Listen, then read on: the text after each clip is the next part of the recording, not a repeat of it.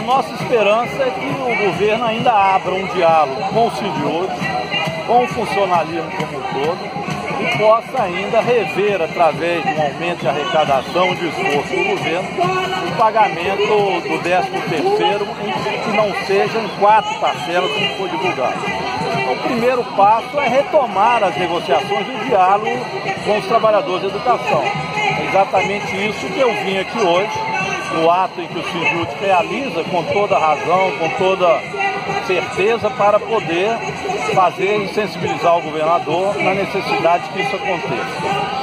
A educação foi fundamental para a eleição do governador Fernando Pimentel e todo mundo sabe disso, o próprio governador.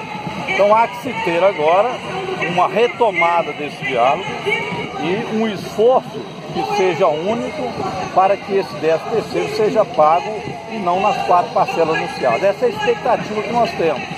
E sentar à mesa é o primeiro passo para que isso possa acontecer. Há possibilidade, então, dessas quatro parcelas é, serem diminuídas? Bem, isso é o desejo nosso, né? E estamos junto com o movimento para que isso aconteça. Tenho certeza que o governador também será sensível a isso e deve estar estudando de alguma forma é, o menor parcelamento e um atendimento ao setor da educação que tem de continuar sendo prioridade do governo.